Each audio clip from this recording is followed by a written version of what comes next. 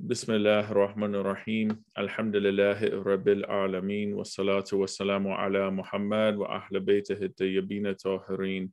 اللهم صل على محمد وآل محمد وعجل فرجهم. قال الله تعالى في كتاب الكريم بسم الله الرحمن الرحيم. و وقضى ربكم ألا تعبدوا إلا إياه وبالوالدين إحسانا. إما يبلغن عندك الكبراء أحدهما أو كلاهما فلا تقل لهما أف ولا تنهرهما وقل لهما قولا كريما. صدق الله العلي العظيم. Allah subhanahu wa ta'ala says in Surah 17, ayat 23, uh, Your Lord has decreed that you worship no one but Him and do good to parents, to your parents. If any one of them or both of them reach old age, don't say to them even uff, uh, and address them with respectful words, with honorable words. It says, uh, even if there was something smaller than uff, Allah would have used this this very uh, the smallest word we could use, just something just saying uff. Uh, the last greater sin that we talked about was murder, and now we that was the fifth one mentioned in the book. Now we're on the sixth greater sin, disobedience to parents. inshallah you could use this as resource for for later time you can show your kids inshallah. So if they're giving you a hard time. Uh, it says uh, the sixth greater sin is to be disobedient to one's parents as expressly mentioned in the traditions from the holy prophet and the pure imams salam. Um, we mentioned this verse in the beginning that allah has commanded us to be good to parents also, we see that Imam Sadiq alayhi salam, he says, kindness towards parents is the proof of one's having recognized Allah. Because no worship pleases Allah as much as showing respect to one's parents. So we see that when we witness someone who's kind to their parents, a believer who's kind to his parents, they realize that, you know, this is one of the proofs of having recognition of Allah because Allah says worship uh, um, to worship Him and do good to parents. They're joined together. He said, uh, tradition of the Prophet وآله, says that the greatest sins are shirk and to be disobedient to one's parents. The seriousness of disobedience to parents as a greater sin can be gauged from the fact that the Holy Prophet has mentioned it along with shirk which is the greatest of all the greater sins. So disobedience to parents is a sin, the punishment punishment of which is promised in the Quran, also traditions. It's, it says, uh, Isa alayhi salam says in Quran, and it says about Isa in Surah Maryam, ayat 32, and dutiful to my mother, and he, Allah, has not made me insolent or unblessed. As Isa salam didn't have a father, his mother alone is mentioned. Uh, in the same surah, both the father and mother of, uh, of Yahya salam are mentioned. So we see that one of the characteristics, the honorable characteristics that Isa salam mentioned is that Allah has not made him insolent or unblessed.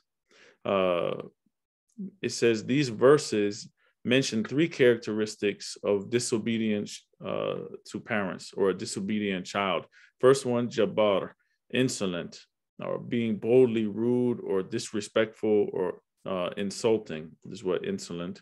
We go to the definition of that word, then uh, shaqi. Shaqi is also being uh, rebellious and this it says unblessed here as their translation. To be um, wretched. There's a lot of words that go with this. And the third one is asi. Asi is uh, to be disobedient, to be sinful. It says each of these negative qualities render one liable for severe punishment. Regarding Jabbar, being insolent, the Quran says in Surah Ibrahim, ayat 15 through 17, and they asked for judgment, and every insolent oppressor was disappointed. Hell is before him, and he shall be given to drink of festering water. He will drink it little by little and will not be able to swallow it agreeably. And death will come to him from every quarter, but he shall not die. And there shall be vehement chastisement before him. So we see that this is mentioned for the first uh, term, Jabbar. The one who is shaqi will be punished as follows. Allah says in Surah Hud, ayat 106 through 107.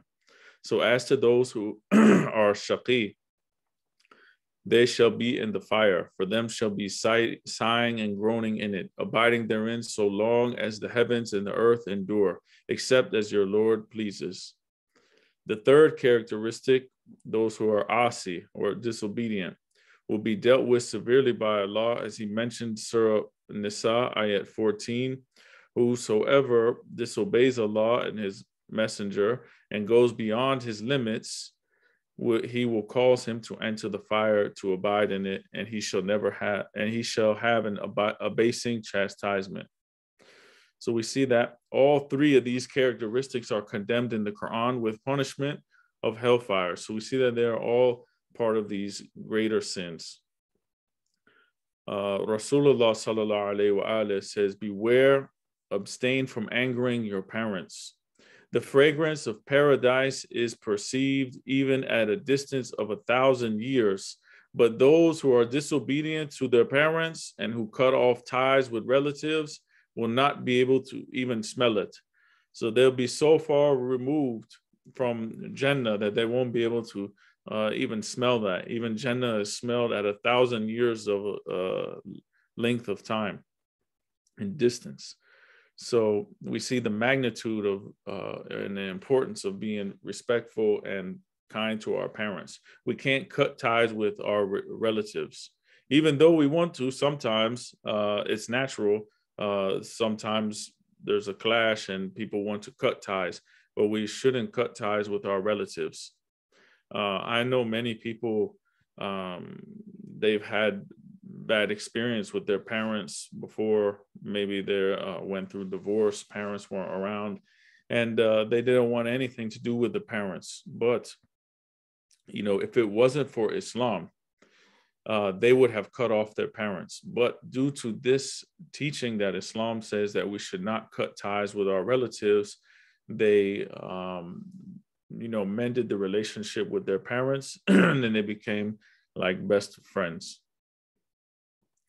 uh, Rasulullah sallallahu also said, "The one who displeases the parents, it is as if he has displeased Allah. One who angers both of his parents, it is as if he has angered Allah." So even if you anger, you upset one of them, you displease one of your parents, is the equal to the displeasure of Allah, because Allah has commanded us to do good to them and to obey them, with conditions, of course, that they do not uh, command us to do haram or these other things, or if they're displeased with you because you're doing something that uh, Allah has commanded you to do, then these are exceptions. But in general, the um, uh, who he who displeases his parents displeases Allah, and if you anger both of them, then it's as if you had angered Allah subhanahu wa ta'ala because his he puts his displeasure in this act or his uh, anger in this act. So when you commit the act, then you have earned the uh, displeasure or the anger. The same thing, Allah has placed His uh, pleasure in certain acts. When we do those certain acts, then we attain the pleasure of Allah subhanahu wa ta'ala. He said elsewhere, it's mentioned, one who hurts his parents hurts me, and one who hurts me has hurt Allah, and the one who hurt, hurts Allah is accursed. So we see that the, the Prophet has uh, mentioned this very clearly that the anger of the parents is as if you're hurting Rasulullah. And we would never want to hurt the Prophet. So we have to make sure that we please our parents and that the the our children also know these um, narrations and things so they see the importance of these things. The Prophet has also stated Allah will not speak to three different types of people, three kinds of people on day of judgment. Neither will he have mercy on these three kinds. nor will he purify their sins. Uh, it says, For them is a very horrible chastisement. Those three types of people are the believers in destiny, meaning uh, destiny, those who believe that everything is preordained by Allah, that Allah has predestined every single thing and we have no control and we are like uh, uh, robots. Uh, this is uh, the belief in Jabr. This is one group. The second group, those people who uh, are drunk, uh, drunkards, or they drink alcohol. Third group are those people who disobey their parents. So we see that these disobedient, the ones who are disobedient to their parents, are uh, joined in with these other groups on on day of a judgment. And some of us, maybe we would never think about drinking alcohol, would say, no, haram, haram, but we disobey our parents, treat our parents bad, swear at our parents, or whatever the thing is, uh, being disobedient to them. But it's right alongside with these people who are uh, drinking alcohol. It reminds me of those people who they drink alcohol, but then when they bring the food, it says, you know, it's my food halal or my food, you know, they want to make sure their food is halal, but they're drinking alcohol at the same time. And only fooling ourselves with that. You know, a lot of times that um, we will do all these good deeds, but then we do this thing. Uh, we think we're in a good spot, but we'd be disobedient to our parents. We're crossing out many or canceling out all the other stuff we've been doing. So we notice the emphasis that Allah, uh, the religion puts on the importance of treating parents well. You know, our teachings are unlike what we find in the West, where there's we see an abundance of disrespect shown towards parents, shown towards elders, shown towards teachers, or anyone uh, that they want you know it's a lot different you know. A lot of these things are they imitate them from what they watch on television. The majority of the shows that are for the youth uh, the main characters are shown and they're disrespecting their parents. They're disobeying their parents. And then it seems like this is the normal behavior of a person their age. So they say like someone in middle school they say, oh, well, they act like this, and this is the famous person. They're on TV, and this is showing the model of how American families should go and how they are. They openly disrespect their mother, they disrespect their father, they disobey them, and all these things. And the kids start imitating these things. So we have to be very careful on what we teach our children because uh, Imam Sadiq alayhi salam says, you know, be mindful and take care of teaching your children uh, the right way before the corrupted people come and, and uh, proceed to corrupt them and teach them their ways. So we need to be uh, proactive, teach the children at home, and not just rely on taking them to center one time a week because that's not going to do it. That's something, but we need to do it from inside the house to teach them, give good examples, all of these things even if we just read one narration after Salah a day with our kids, they'll be learning something every day. Or we give examples, we see bad behavior, we show them, you know, is this good? You know, do you think Prophet Muhammad would like this? What, what way uh, do you think is the right way to act? And, you know, show the repercussions of acting the wrong way, what will happen, many things he said the, the wretchedness of uh, being disobedient to parents is sufficiently evident from the fact that the trustworthy angel Jibra'il uh, has cursed him and said, One who is blessed with parents but does not fulfill their parents' rights will not be forgiven uh, his sins by Allah. When Jibra'il said this, Rasulullah uh, said after it, Ameen. And then, uh, so we see that uh, Jibra'il has said this the one who does not fulfill the rights of the parents uh, will not be forgiven. And Prophet agreed with him.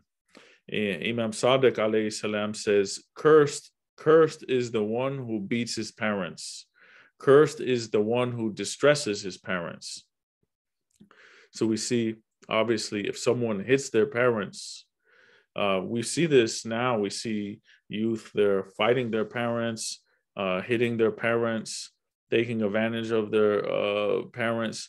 They cause distress to their parents. Uh, you know, a lot of stress is from the from the children acting out we have to find out what is the reason like why are they acting out what are they doing and and try to find a solution for that imam sadiq alayhi salam says allah will not accept the salat of a person who stares angrily at his parents even though his parents are unjust so even if your parents are unjust and do something wrong we still cannot even we we cannot stare at them angrily. Uh, Imam Sadiq alayhi salam mentioned that he said one form of hurting your parents is giving them a mean look. Even if our um, parents are unjust, we still owe them the right of being kind to them.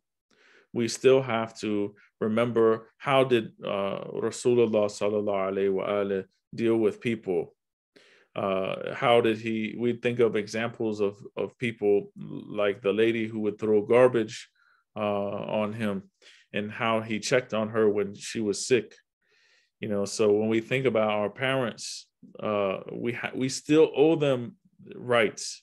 We have to think of the prophet was a mercy to the world. So even if someone treats us bad they're our parents okay uh, you know we will not take that out on them and we will still be kind and be respectful to them. Imam Sadiq alayhi salam said that uh, he narrated a hadith which goes back to Rasulullah sallallahu alayhi wa he said certain categories of people of my community or of my nation, my ummah, will not be answered when they supplicate to Allah. So certain groups of people, when they call on Allah, Allah will not answer them, no matter how much they call or what they are asking uh, it says one of those groups is a person who curses his parents, someone who swears at his parents. You know, opposite of giving our parents, you know, evil glares or evil stares and the bad look. Uh, the prophet he said, when a person looks at his father or mother with affection and with kindness, this act of his that he does this, it's counted as ibadah as worship. So Allah has made it very easy for us, even if we just look at our parents in a nice, kind way, an affectionate way, and treat them nice, all of this counts as worship. Subhanallah, something that we don't even really pay attention to, something that we think is small, is counted as worship. Uh, there was a young man on his deathbed uh, then Rasulullah sallallahu alaihi came. He sat near this uh, youth. He told him to say shahadatain, la ilaha illallah Muhammad Rasulullah. But this person, he couldn't speak. He couldn't say anything. The Prophet asked him if his mother was there. A woman was sitting near uh, the head of the youth. She, she said, yes, I'm his mother. So Prophet said, Are you upset with this young man? You know, do you have any problem with him? Is something going on? She said, Yes, Ya Rasulullah. We haven't spoken to each other in about six years. So the Prophet said, uh, you know, ask his mother to forgive him. You know, just have mercy on him for my sake and forgive him. So when the Prophet told her this, she forgave his mistakes and all that was done. At once, whenever his mother forgave him, uh, he was able to say his shahadatain, la ilaha illallah Muhammad Rasulullah. So this act that his mother was displeased with him was blocking him from saying shahadatain. It was an obstacle on his deathbed because they let so much time go between them uh, that he basically cut relations with his mother uh, Sayyidah Fatima to Zahra alayhi salam, she said, uh, Allah had made kindness to parents as a protectional shield to his wrath and displeasure. And Allah made joining and connecting with the kin the cause of lengthening of life. So when we are kind to our parents, it is a shield. It's like a shield that will protect us from his displeasure. Because as long as we're being kind to our parents, Allah is pleased with this act. And uh, to keep relations with our family, you know, this is the way to lengthen one's life. When we uh, cut relation with our family members, it shortens our lifespan. Uh, our lifespan can be altered. It can be lengthened or it can be shortened. Allah knows the ultimate day that we will die, but there's some fluctuation that we can do on our end. Maybe we're supposed to die. Uh, it's written for us, you know, maybe let's say 50 years old, but we give sadaqah. This extends our life that we be kind to our parents we we keep the relation with our family lengthens our life. As we mentioned before uh, other times that um, for example the lady who um, had just gotten married and uh, the prophet uh, isa salam saw that he told his disciples they're celebrating now but tomorrow they'll be crying. The tomorrow came uh, you know something happened. So prophet went and Asa, he went to the house. He asked to look around. He looked under the bed and saw a snake there. And he said you know what did you do? And she yesterday like recount to me what happened. And she said oh someone knocked on my door and asked for something so i gave a charity to that person. He said this snake was supposed to bite you and your life was supposed to end last night, but since you gave sadaqah, your life was lengthened, and this snake it died. So we see here that uh, her life was lengthened due to giving sadaqah. That's one of the reasons um, sadaqah prevents uh, calamities. It prevents and also lengthens the life.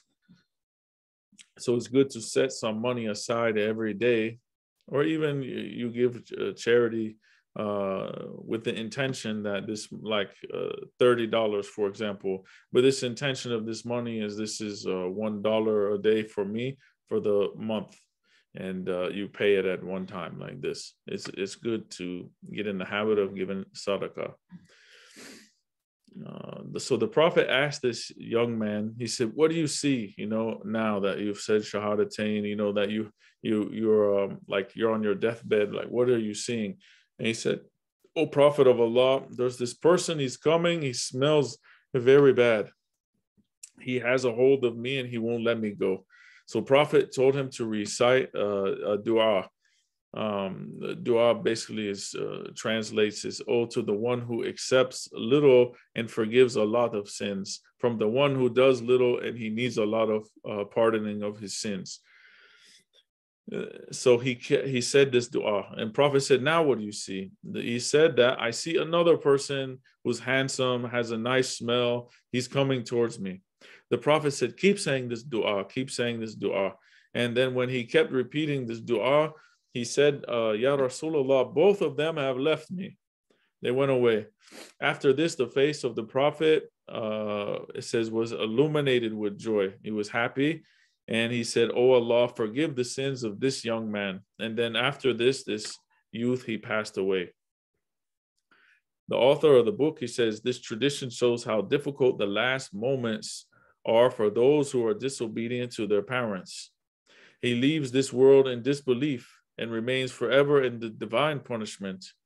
The tutor of the Shahadatain for this young man was Holy Prophet. In spite of this, his tongue didn't move until his mother forgave him. He's saying that even, you know, Rasulullah told this person to say Shahadatain, and he didn't say it. He couldn't say it. It wasn't until after his mother forgave him. So even a prophet commanding him to say Shahadatain, he couldn't until his mother forgave him. And the blessings of the Holy Prophet and the forgiveness of the mother of this person brought salvation for that youth. So we see the importance of the mother being pleased with the son. He says, Allama Majlisi writes in his commentary on Al Kafi, which is uh, book Mir'atul Uqul, uh, the one who is disobedience or disobedience to the parents means that the son or daughter caused disrespect to the parents by speech or by actions. Speech maybe they verbally say disrespectful things to the, the parents which is very uh, bad and disrespectful and allah would not look at this in a good light. It would earn the displeasure of allah. Then sometimes they do things by the actions that are disrespectful. Maybe they don't say anything but they look at you with a bad look or they slam the door and walk out or they uh you know and they you know make these sounds uh you know. As well allah says don't even say oof to our parents. Something small as that and we uh, if the children only knew that in in the actions that they're doing towards their parents is considered as worship then they would look forward to the opportunity to do things for their parents. They would they would come and ask, "Oh, do you need anything? Do you want any water? Do you want something? Uh, you know, what can I do? I want to help." Because they knew that serving their parents, if they knew the reward that was behind this. He says, or they do not obey them in matters which are within reason and matters which are not in any way against religion Disobedience to parents is absolutely haram. The book of traditions of both Shia as well as Sunni, they validate this. To look at the parents with anger is considered a disobedience to parents. To cause unhappiness to the parents is considered disobedience. It is haram to take any step which one is sure will displease the parents. So we I, I, remember i had a friend that went to Qom and he wanted to study some and become an uh, alim and things like this but things weren't going good for him. Uh, he was facing a lot of obstacles a lot of difficulties in this uh, regard uh, and uh, the teacher started asking him is like what is going on? You know uh, what is happening? Because nothing is working out for you. Um, so they found out the root of the thing uh, was the, the scholars asked, you know, do your power is your family, is your family uh, excited that you're here? and all of these things. But unfortunately, his parents didn't want him to go. And his parents didn't want him to study and they didn't want him to move and live there and a lot of things. So the teachers actually said, it's better for you to go back home and to take care of your parents and be with your parents than it is to be here. And they wouldn't teach him. So he ended up leaving and going back and just being around them, but studying in his free time and other things. He says uh, the verses of Quran as well as the traditions of the infallible imams not only prohibit displeasing and angering the parents, but also stressed that uh, benevolence towards them is wajib. A few examples from Quran shows Surah Ankabut, ayat 8. Allah says, and we have enjoined on man goodness to parents. Surah Luqman, ayat 14. Be grateful to me and both of your parents. He says the above verse is special, especially worth noting for the fact that Allah has mentioned together gratefulness towards himself and to the parents. Certainly, thankfulness to Allah is wajib, and in the same way is wajib for the children to be thankful to their parents. Is these two are joined to Allah joins these two together. It says, "Be grateful to me and both of your parents." And your Lord, uh, the next ayat is Surah Bani Israel, ayat 23, 24.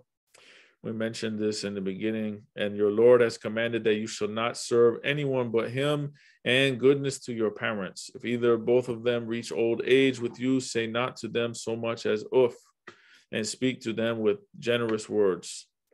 And make yourself submissively gentle to them with compassion, and say, O my Lord, have mercy, have compassion on them as they brought me up when I was little it makes us think that back to the time when uh, we have probably forgotten about, but how much they sacrificed for us when we were small and how they took care of us and how they cared for us to have compassion on them. Ask Allah to have mercy on them for that. Because if it wasn't for our parents, we wouldn't be uh, in, you know, where we are now. They did a lot of sacrifices for us. In this ayat, Allah has mentioned goodness to parents. In the same sentence, He talks about uh, service to Him. And uh, He says, service to Allah is wajib. Also, um, benevolence to parents is wajib. So the Imam was asked, you know, uh, to explain the meaning, uh, bil walidaini ihsana, to do goodness to your parents. So he said, Be good to your parents, and if they are in need of something, go get it for them before they even ask. So to anticipate their needs, what do they need? What can I do to help? What are they uh, looking for? You know, and try to help them ahead so they don't even have to ask for it. And he said the meaning of the words uh, and speak to them a generous word was explained by the Imam. Uh, if the parents, even if the parents hit you, say, May Allah forgive you. Don't retaliate against them in the same way. They say, May Allah uh, forgive you. The, uh, then the phrase, and make yourself submissively gentle to them, is elaborated by Imam, saying, Do not look at them with distaste. Do not raise your voice above their voice. When you walk, don't walk ahead of them. When you go to a gathering, don't sit before they do. Never, never keep your hand above theirs. Uh, we give preference to the parents. They would sit, for example, we would have them sit in the chair. If there was one chair, we would have them sit in the chair. We sit on the floor. Uh, we don't walk ahead of them. We don't, um, you know, we let them have the forefront and uh, we don't excel them. It says Imam Sadiq alayhi salam says that a young man presented himself to the Prophet sallallahu alaihi wasallam and said that he wanted to do jihad. So he came, Prophet. He said, "I want to go to jihad, to go uh, fight in the way of Allah." So Rasulullah sallallahu alayhi wa wasallam said, "Go ahead, go jihad in the way of Allah." If you are killed, you will be alive near Allah and be provided with sustenance from Him.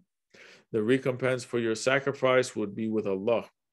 If you return alive, your sins would be washed off as if you were a newborn child. Saying, go, eh, you know, go do that. You, no one can even count the reward. The reward is just with Allah. So the man said, Ya Rasulullah, my parents are alive and they're old and they have a lot of expectations from me. They need me to do a lot of things. Uh, they don't want me to be away from them because they depend on me. So the Prophet said, if that's the case, then stay behind and serve your parents.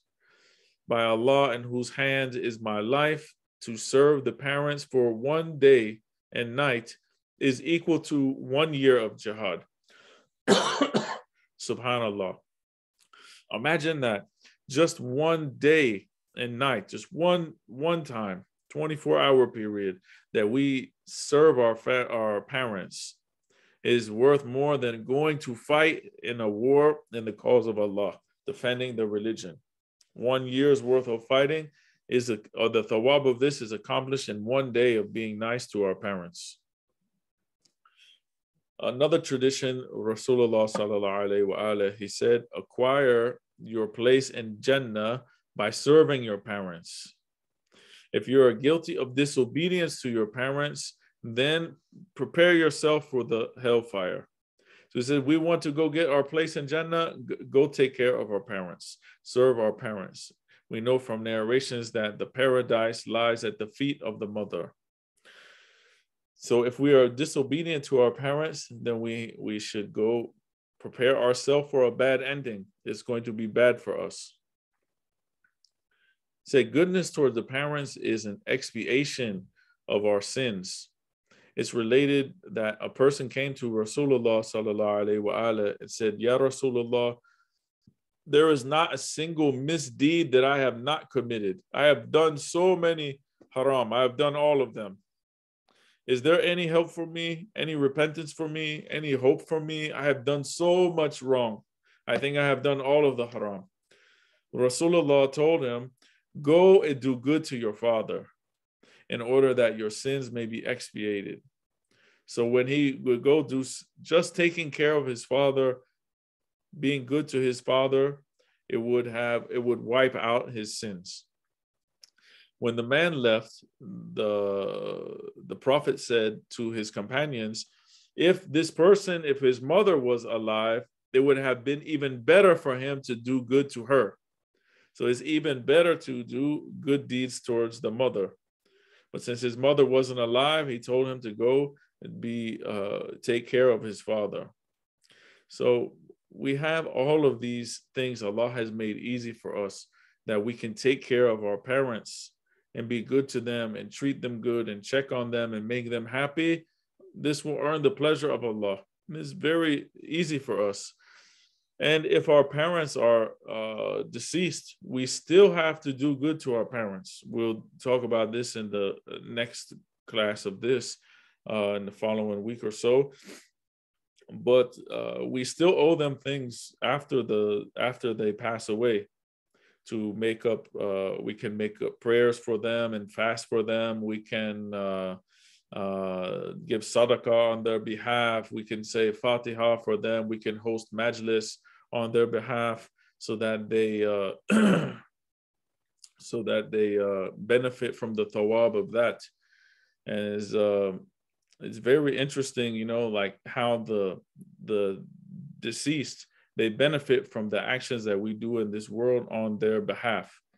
Uh, I remember one of the ulama they were telling me that um, their sister saw a dream of their, I believe, their grandfather, and that uh, he was eating cake in his dream. And he was saying they haven't seen each other in a long time, and she was, you know, how are you doing? And he's like, oh, I have this great cake prepared for me, and it's like, you know, where did you get this thing from? And all of these, uh, she, you know, he was saying, oh, you guys, you made it for for me, you know, and she was wondering like why you know, like, how is this? She woke up and it's just this weird, you know, uh, strange dream. So she called her, uh, some of her siblings and told them about it. And they said, Oh, we had a majlis for him last night and we served the cake in the majlis, you know? So subhanallah, you know, they did this and she wasn't aware of any of that, that, that had happened. And we see that the thawab and benefits go to those after us. So when we do things for them in this life, they it will expiate some sins for them and will also send them uh, things as a reward in the next life. So we have to be mindful of how we treat our parents. And then if our parents have passed, to continue remembering them and doing things for them and not let their uh, memory fall. With this, we'll end uh, and resume in the next class. Sallu ala Muhammad wa ala Muhammad.